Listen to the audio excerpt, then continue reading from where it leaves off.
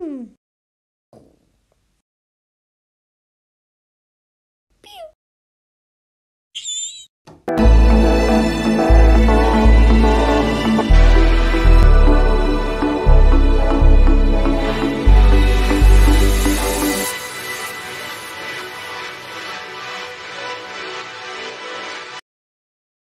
Hello, please don't destroy me.